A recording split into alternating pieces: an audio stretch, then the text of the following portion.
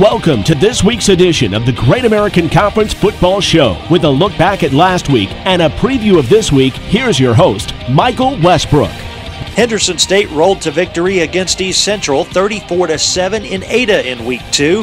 With the game in hand, the Reddies added their final score of the night with 6.33 to play in the fourth. And off, Jaquan Cole tries the left side. He's over the 30, first down, stays on his feet, broke a tackle to the 10, to the 5, to the end zone. Touchdown, Reddie! Bill Elson on the call. The Reddies' Sam Johnson was named co-defensive player of the week. Henderson takes on Northwestern this week. Southeastern picked up its first win of the season with a 45-38 victory over Ouachita Baptist.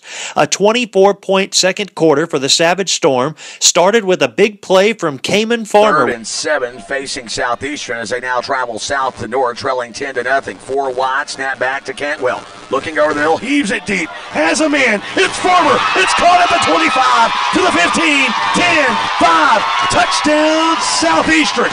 And you can throw in a flag on top of it as Farmer was held at the 35, still broke free and to the house. Jay Lindley on the call. Farmer was named GAC Offensive Player of the Week. Southeastern now takes on Oklahoma Baptist. And speaking of Oklahoma Baptist, the Bison defeated Arkansas Tech 1915.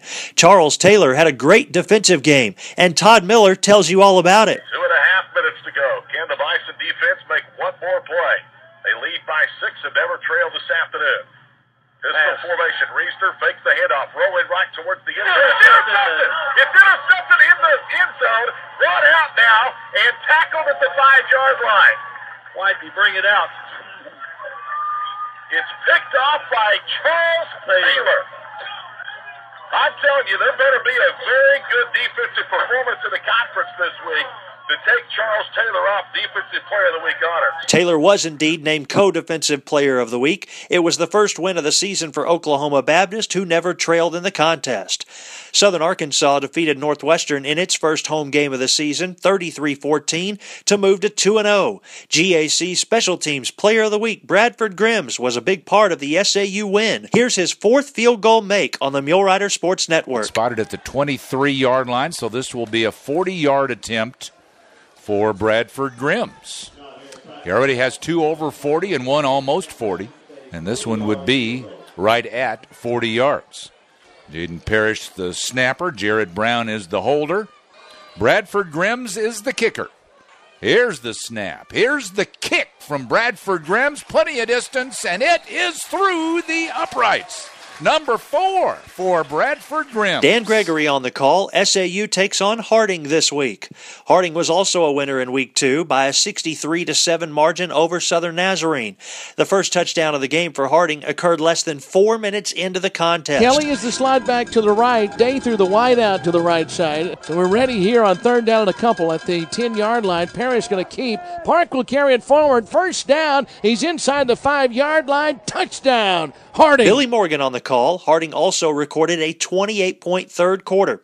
Southern Nazarene's next opponent will be East Central. Arkansas Monticello won 35 to 28 against Southwestern. It was a five point game halfway through the fourth quarter when Monticello picked up two more on a safety. Day stays in at the running back. Evans sends the tight end in motion.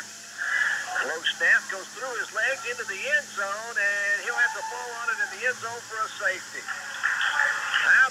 Jimmy Sledge on the call. Monticello will play Arkansas Tech this week, while Southwestern will take on Ouachita. That's the GAC Rewind. I'm Michael Westbrook. Join me again next week on this station and online at GreatAmericanConference.com. GreatAmericanConference.com is your home for scores, stats, and standings. For additional information, follow on Twitter at GAC Athletics. This has been an exclusive presentation of the Great American Conference.